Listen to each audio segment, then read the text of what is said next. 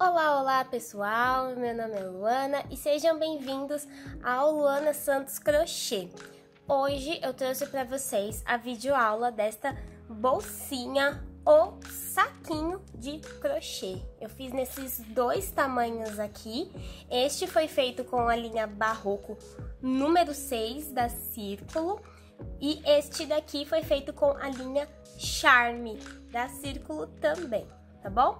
É, elas foram feitas praticamente com um mes a mesma quantidade de pontos iniciais e elas ficaram com essa diferença por conta do tex da bolsa.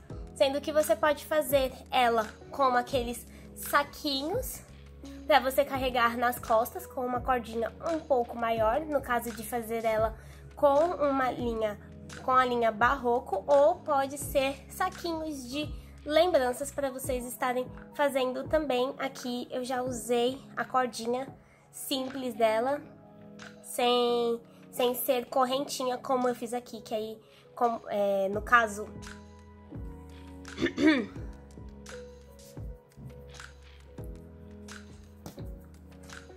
uh, diferente desta, que eu fiz com correntinhas, já que vamos eh, já que ela seria utilizada como uma pequena mochilinha. É, aqui na miniatura vai ficar a, é, está a foto é, minha usando ela como mochilinha e fica super legal e super bacana para a gente estar utilizando para carregar poucas coisas por aí. Essa daqui é só você abrir ela assim Tá vendo? Ela parece aqueles saquinhos de organza, não sei se vocês conhecem, que é só puxar aqui nas laterais que ela fica fechadinha, lacradinha, tá bom? E essa daqui também, ela só é um pouquinho mais resistente por conta da, das correntinhas, que elas são um pouquinho mais grossas, então elas não deslizam tanto quanto a linha reta. Mas elas ficaram com um bom... Essa daqui, ó, ela ficou com um bom tamanho dentro dela, tanto é que dá para colocar o Kindle aqui dentro, dá para colocar um caderninho pequenininho, ou se vocês quiserem, vocês podem estar fazendo ela também de um tamanho maior. Eu vou estar explicando para vocês como é que nós vamos estar fazendo para fazer maior ou até mesmo menor, se vocês tiverem o interesse. Aqui para fechar é só puxar. Um pouquinho mais de força. e fechou. Então, bora lá que eu vou passar para vocês os materiais para fazer esta peça. Para fazer o tamanho maior, vocês podem estar utilizando a linha Barroco número 6, tá bom? A cor vai ficar da escolha de vocês. A que eu usei aqui é a natural, juntamente com a agulha 3,5. A que eu vou fazer agora com vocês vai ser outra deste tamanho aqui, desta azul. Essa aqui que eu, que eu fiz, ela é na cor azul clássico da, da Círculo, número 2770, tá bom? É a linha Charme. A que eu vou fazer agora, eu vou fazer com essa daqui, que é a mostarda número 7030. Ela tá meio apagadinha aqui, mas é o número 7030 essa cor, tá bom? Também vamos precisar de tesoura para poder fazer os cortes e os acabamentos, tá bom? Então, bora lá. Aqui, peguei a ponta da nossa linha, da nossa linha e vou fazer o nosso primeiro ponto, nossa primeira correntinha, desculpe. Feita a primeira correntinha, eu vou começar a fazer múltiplos de três. Esta peça, ela é feita em múltiplos de 3. A que eu fiz, que ficou com esse tamanho aqui, ela eu fiz com... Oi, oi pessoal, aqui é a Luana do futuro. Eu tô voltando aqui para falar com vocês é, de um detalhezinho. Aqui na carreira inicial eu falei que eram múltiplos de 3 mais 2, mas na verdade que a gente ia começar a fazer esse daqui com 26 correntinhas, quando na verdade é 3 mais 1 ponto, tá bom, gente? São 3 mais 1 ponto no final, tá bom? Então, é, se eu preciso de... Se eu quero conversar com 24 correntinhas, né? Fazer do mesmo tamanho que desse daqui, eu teria que fazer com 24 correntinhas mais uma correntinha, que ficaria com 25 no total. Aqui, ó, tá vendo? Ele ficou com quatro, quatro pontos altos. E não deveria ter quatro, deveria ter três, igual aqui deste lado aqui, tá bom? É que eu demorei um tempo para poder reparar. E como eu já estava mais avançada na aula, eu acabei não arrumando, mas ele vai ficar, ele vai ficar da mesma forma, tá bom? Então, é isso aí. Prontinho, fiz os 26, minhas 26 correntinhas. Então agora eu vou fazer mais uma correntinha, porque essa daqui eu vou esco essa daqui vai ser o nosso primeiro ponto alto. Por que, que eu vou fazer? Eu vou fazer somente uma correntinha, porque vocês vão entender quando eu for fechar ela depois, tá bom? Então eu vou laçar e vou voltar aqui na terceira correntinha e vou fazer o meu primeiro ponto alto da carreira. Então, vou seguir fazendo pontos altos até o final da carreira, até chegar pen, na penúltima correntinha desta carreira. Vou seguir fazendo pontos altos até chegar na penúltima correntinha desta carreira e volto com vocês para mostrar, mostrar como nós vamos fazer a nossa volta, tá bom? Bora lá. Voltei, vou fazer o penúltimo ponto aqui da carreira e agora nós vamos seguir fazendo o aumento. Aqui, neste único ponto, nós vamos fazer seis pontos altos, tá bom? que eles vão significar a volta que vamos dar com a peça.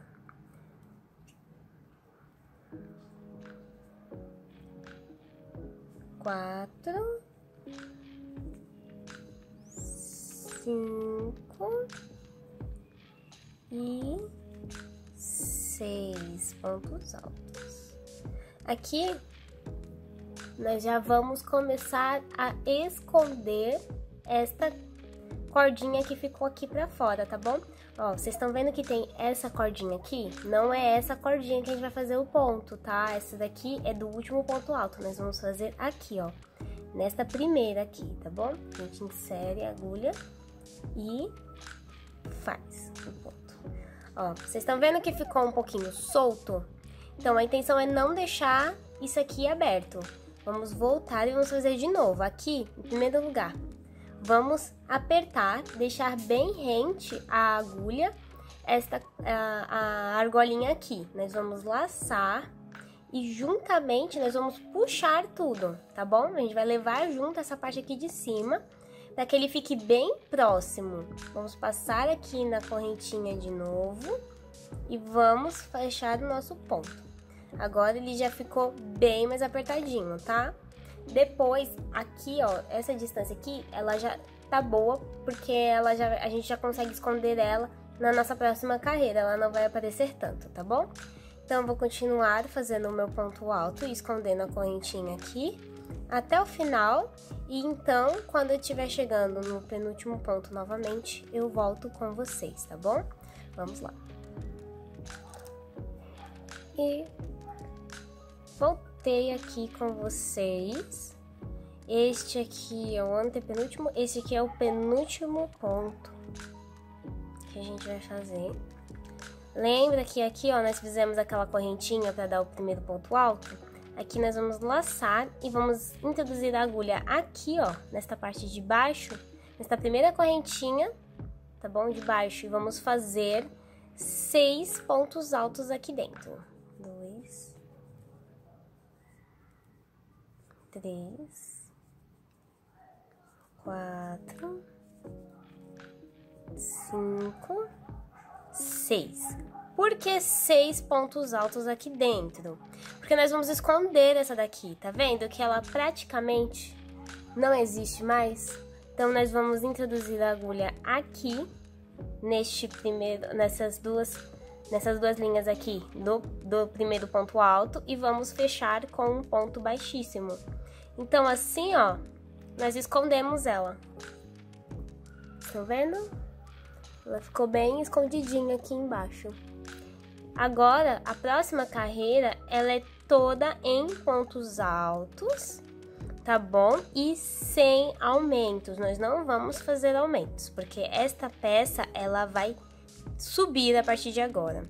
Nós já fizemos a base dela, que é essa daqui. Essa é a base da nossa peça. Então, nós vamos subir ela a partir de agora. Então, para subir, nós não fazemos o aumento.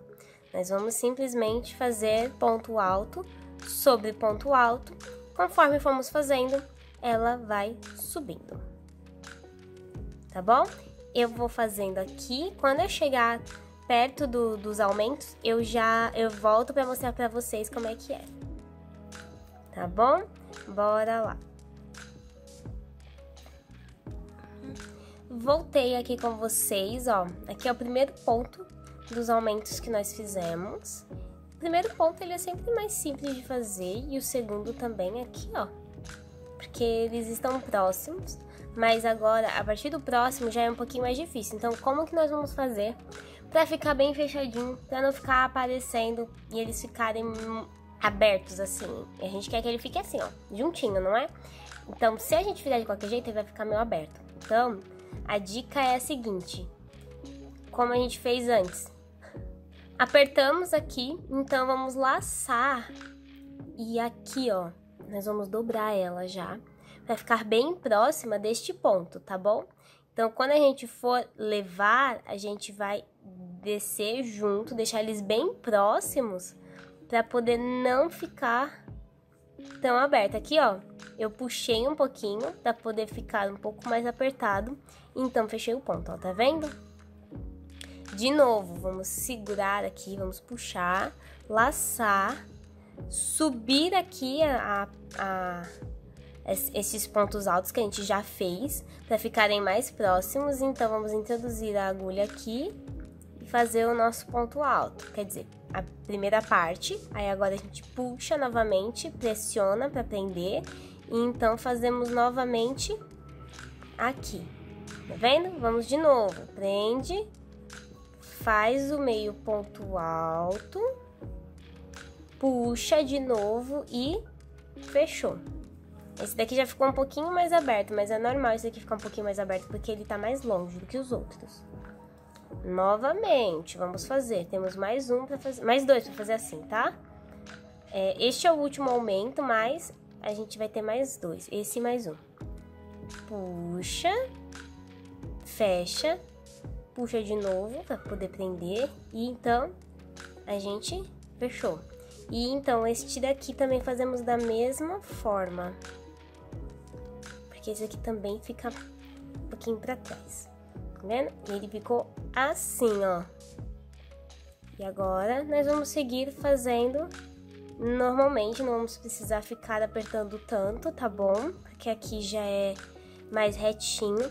Mas se vocês quiserem facilitar um pouco mais, vocês já dobram aqui, ó. Já deixam ele assim, ó, dobradinho, que aí fica um pouquinho mais fácil de fazer os pontos e eles não ficarem tão espaçados, tá?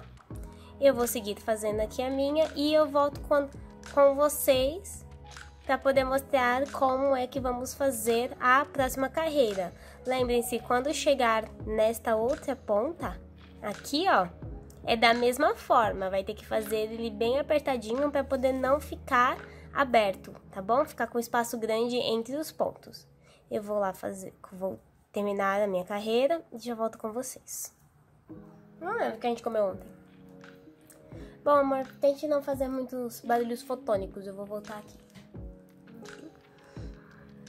Voltei aqui, Vou fechar com ponto baixíssimo aqui nesta primeira carreira e prontinho. Nós já fizemos as nossas duas primeiras carreiras. As duas primeiras carreiras são de pontos altos, tá? Toda em ponto alto. E a gente vai começar a fazer o nosso ponto fantasia agora. Tá bom, gente? Então vamos lá. Aqui nós vamos fazer o quê? Duas correntinhas e mais uma. Se vocês fizerem um ponto alto com duas correntinhas, vocês podem fazer com duas correntinhas. Se fizerem com três correntinhas, vocês têm que fazer três correntinhas e aumentar mais uma, tá bom? Porque essa correntinha aqui que eu fiz extra é a correntinha de separação. tá bom? Vamos laçar e vamos fazer a nossa, o nosso ponto alto. Nós vamos pular este primeiro e fazer no segundo. Vamos fazer aqui. Então, vamos fazer outro ponto alto. Uma correntinha, pula um ponto alto e fizemos, fazemos no próximo mais dois pontos altos. Opa.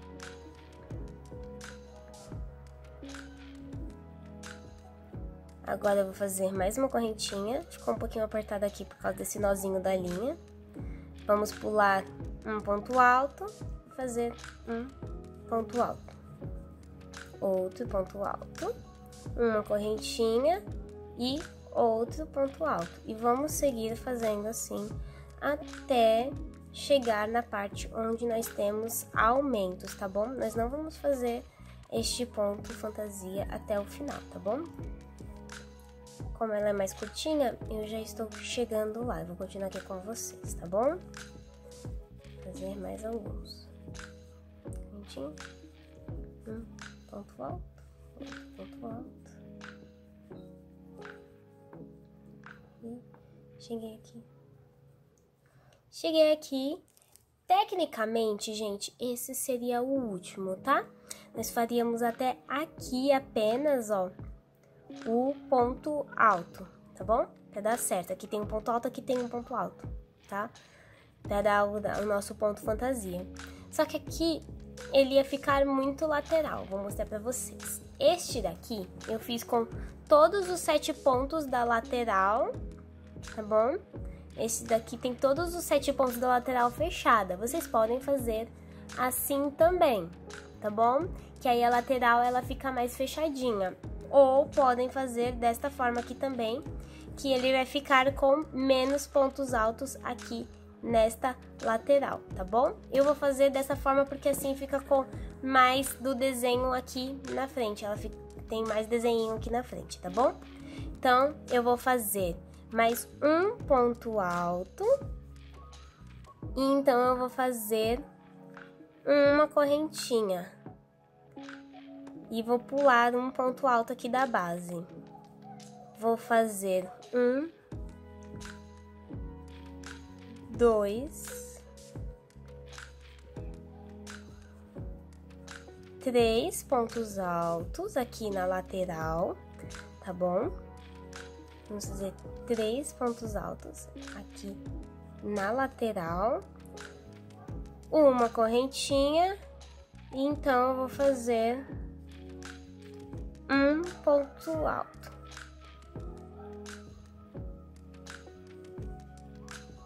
Desculpa, as crianças aqui estão gritando bastante hoje do prédio. Então, aqui, ó, vou fazer mais um ponto alto separado por uma correntinha. Outro ponto alto. Mais um ponto alto separado por uma correntinha. Pula um ponto alto. Mais dois pontos altos. E eu vou seguir fazendo até o final da carreira. Quando terminar, eu volto com vocês para falar como que vamos seguir, tá bom? Bora lá.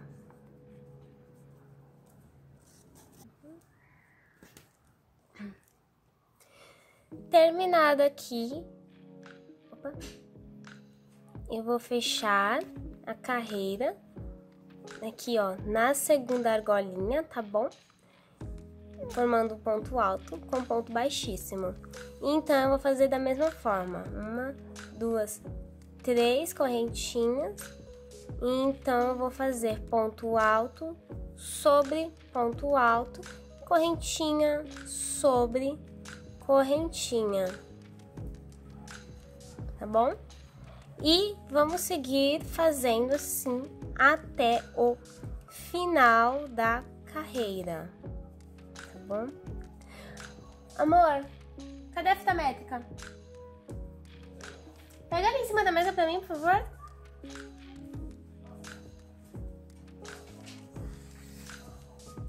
Deixa eu ver que a gata pega.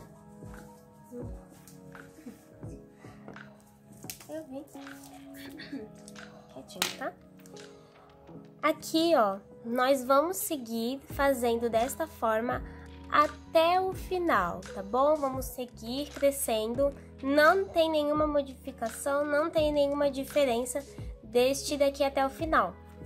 Essa daqui eu fiz ela com 12 carreiras, tá bom? Ó, 3, ó. 1, 2, 3, 4, 5, 6, 7, 8, 9. Opa, desculpa, 13.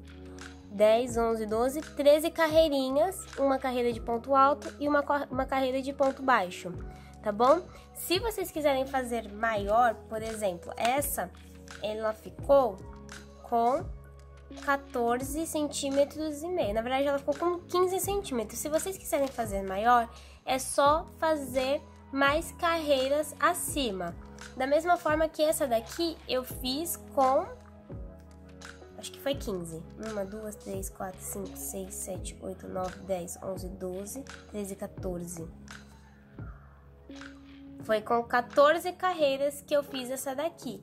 E com a linha número 6, lembrem-se disso. E ficou com 21 centímetros. Se quiserem maior, é só fazer mais carreiras para cima. Para ela ficar mais larga, temos que fazer mais pontos. Então, ao invés de começar com 24 ou com 27, começar com 30, 33, para dar e vai medindo com a fita métrica para ver mais ou menos e adiciona pelo menos mais 2 centímetros, que aí vai ser o tamanho final que vai ficar da sua peça, tá bom? Então, eu vou seguir subindo ela até chegar na 13 terceira carreirinha e volto com vocês para mostrar como nós finalizamos ela, tá bom? Bora lá! Voltei aqui no final, vou fazer os meus últimos pontos altos aqui, tá bom? Então, vou fechar com um ponto baixíssimo. Agora, nós vamos fazer como uma carreira inteira de pontos altos. Então, aqui onde tem correntinha, nós vamos fazer um ponto alto e ponto alto sobre ponto alto, tá bom? Até o final da carreira, que depois dela nós vamos ter apenas mais um, que é a carreira de acabamento, de acabamento, onde nós vamos fazer a nossa o o acabamento da nossa peça. Essa daqui eu vou fazer um acabamento diferente da anterior, mas eu explico para vocês como que eu fiz aquele acabamento também, tá bom? Bora lá então. Agora, vamos finalizar aqui a nossa última carreira, nossa penúltima carreira. Aqui, nós vamos fazer um ponto baixíssimo e finalizei a carreira. Aqui, nós vamos poder, vocês podem fazer da forma que aqui, como eu fiz. E então, fazer um ponto baixo para cada ponto alto desta carreira, tá bom? Quando chegar no final, eu volto com vocês. Estou fazendo aqui meu último ponto alto da carreira.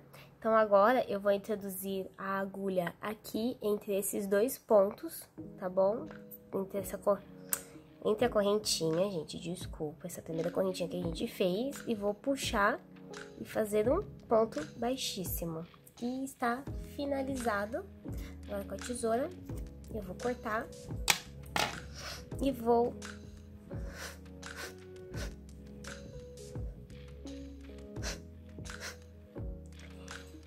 Eu vou cortar, cortei aqui e vou fazer um arremate. Vocês já viram meus outros vídeos, sabem como que eu faço arremate direto com a própria agulha, tá bom? Vou introduzir aqui atrás dessa perninha, aqui. Sempre tomando cuidado para não puxar nenhum da frente, tá bom? Ela tem que passar por trás para ficar escondidinha. Então, eu vou puxar aqui, ó, esse ladinho aqui.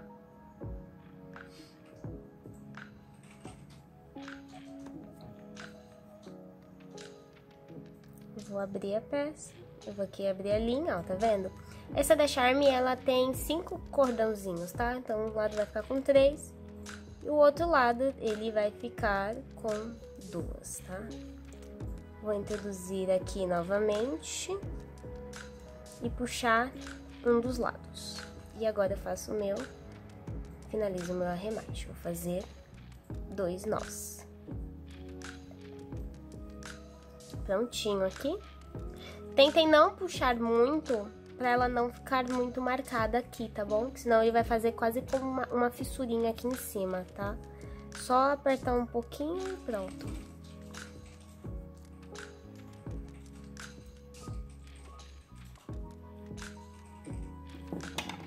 Terminei com a minha tesoura, eu vou cortar. Se vocês tiverem cola, vocês podem estar utilizando a cola para poder fechar. E este é o resultado. Vocês estão vendo que a peça está meio de lado? Isso é normal por conta que a gente fez diretamente aqui. Quando eu fizer, eu quando eu terminar de fazer a peça, ela vai ficar retinha. Mas vocês podem estar já deixando ela assim, ó. A gente vem aqui, ó. E mexe nela para poder ela ficar reta, tá bom? Então depois arrumamos de novo. Por que, que isso acontece? É normal, porque a peça tem, a gente faz esses pontos aqui e não tem aumento, então ela acaba, ela acaba girando um pouquinho conforme a gente vai fazendo. Mas não se preocupe que quando a gente for fazer, depois que a gente terminar, principalmente porque a gente vai fazer este detalhezinho dela aqui, não vai ter, não vai ficar aparecendo mais, ó, tá vendo? Essa minha também, ela ficou com o mesmo efeito quando quando eu terminei de fazer ela, mas quando eu coloquei esse daqui, já não ficou mais. Agora vamos fazer a próxima parte. A próxima parte é a alça. Tô puxando aqui a linha para poder ter o suficiente. É, essa alcinha, ela não precisa ser muito grande, porque nós vamos fazer, é, porque ela vai ficar do tamanho, a gente vai puxar ela, então ela vai ficar sobrando. Então ela tem que ter tamanho suficiente para ir de uma ponta a outra. Então tem que fazer assim, desse tamanho. Pra mim, eu acho que já está bom. Porque é o suficiente pra ele ir e voltar, tá bom? É o suficiente pra ele ir e voltar. Então, aqui, eu vou dobrar ela. Então, este vai ser o tamanho ideal. Na verdade, não, um pouquinho menor, como eu disse, ela vai e volta.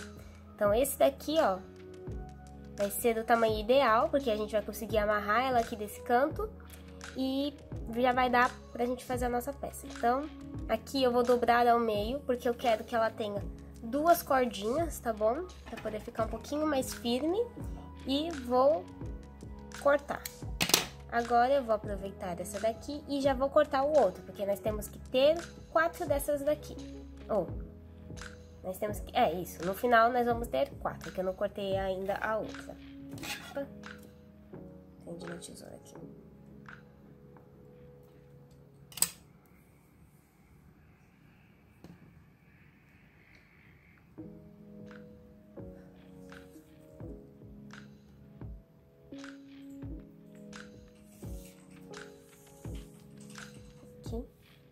Vou usar essa mesma aqui pra medir o tamanho da próxima, assim eles ficam com o mesmo tamanho, fica mais fácil. Prontinho. E agora eu vou dobrar elas ao meio, tá? Assim. E vou cortar de novo. Ficando com duas para cada lado. Agora, nós vamos começar a colocar esta daqui ali dentro, tá bom? Se vocês quiserem estar utilizando a agulha de tapeceiro, vocês podem estar utilizando, tá bom? Eu vou colocar direto, como eu fiz aqui, sem problemas nenhum. Aqui, ó, como vocês podem ver, que é escuro, mas dá pra ver, Uh, eu comecei colocando de, da frente para trás, tá vendo? Aqui é a lateral da peça, tá vendo? Aqui é a lateral. Essa daqui eu deixei mais pontos na lateral mesmo. Então, nós vamos colocar ela, a, a nossa cordinha, vamos iniciar ela de dentro pra, pra fora. Ou, é, de fora para trás para frente, tá bom? E vamos utilizar essa própria a própria de, a, o próprio desenho da peça, no caso, para fazer isso. Então, eu vou começar aqui, passando, eu vou colocar ela aqui e vou passar ela para trás e puxar para frente. tá bom? Eu vou fazer isso por toda a volta e vou mostrar pra vocês, tá bom? Vou fazendo e mostrando pra vocês.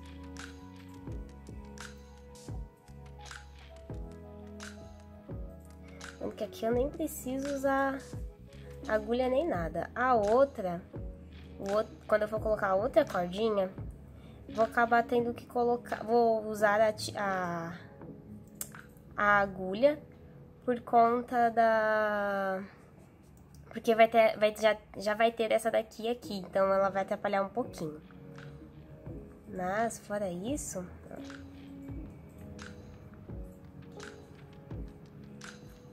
E aqui, ó, cheguei no final da carreira, ou, é, da frente aqui. O que, que eu vou fazer?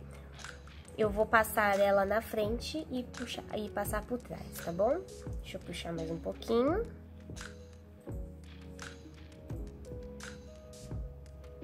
Então, passei aqui por trás, tá vendo? E vou seguir fazendo da mesma forma até o final.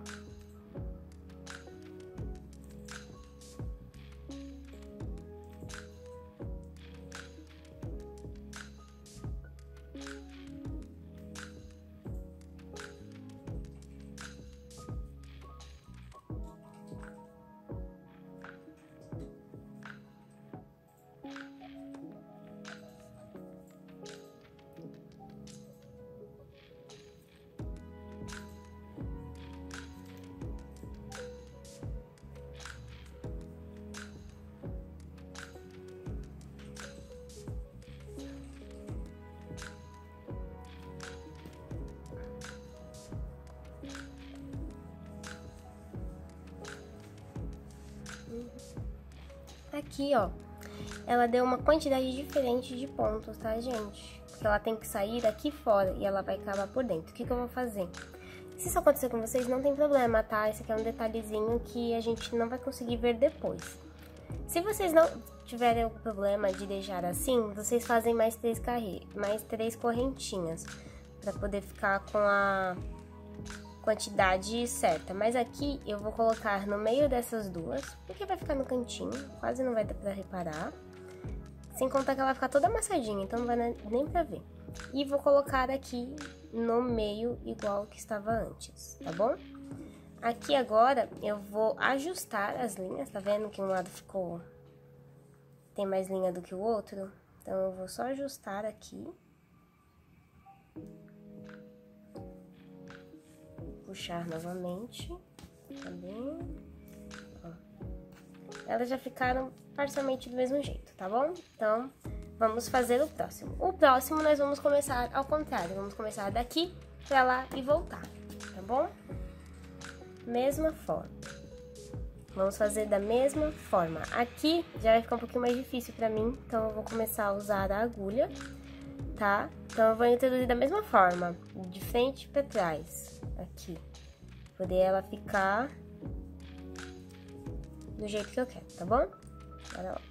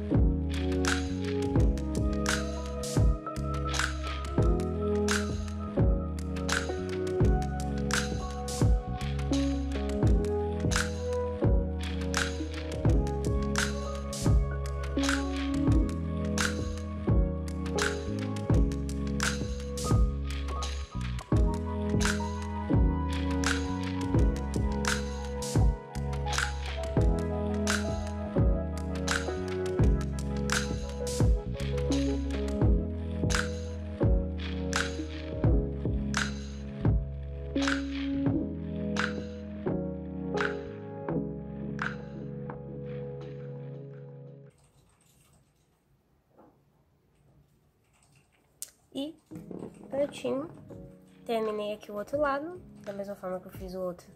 Vou ajustar aqui a linha. Puxei aqui. E prontinho. Está feito os dois lados do nosso acabamento.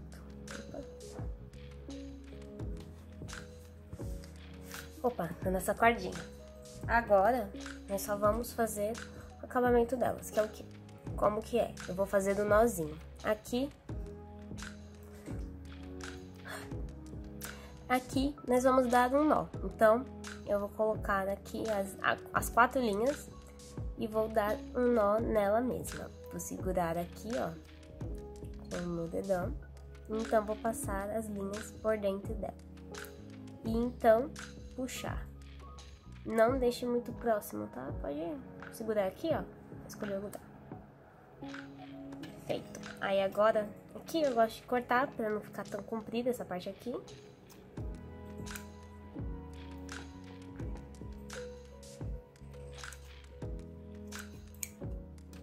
Cortinho reto pra cortar. E agora... E agora, do outro lado, a mesma coisa. segura os dois na mesma altura. Os quatro, né? Dá a volta, segura com o dedão. Segura aqui com o dedão. Passa as cordinhas pelo meio. Confere que se todas passaram, tá? Pra não ficar nenhuma pra trás. E então, fecha o nozinho. Agora, nós vamos fazer o quê? As rebarbinhas.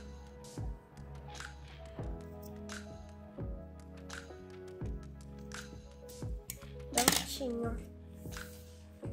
E, esse, e este é o nosso saquinho. Agora, lembra que a gente passou ela, deu a volta ela aqui por fora? E aqui também, dos dois lados? Que é pra poder fazer justamente este efeito sanfonado da peça, ó. Tá vendo? É só vocês puxarem e prontinho, ela fechou. Se vocês quiserem amarrar, é só vocês virem aqui com a própria cordinha e fazer um laço com ela. Pra poder deixar mais firme.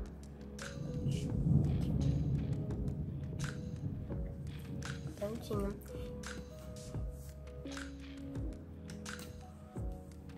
E esta foi mais uma videoaula. Eu espero que vocês tenham gostado.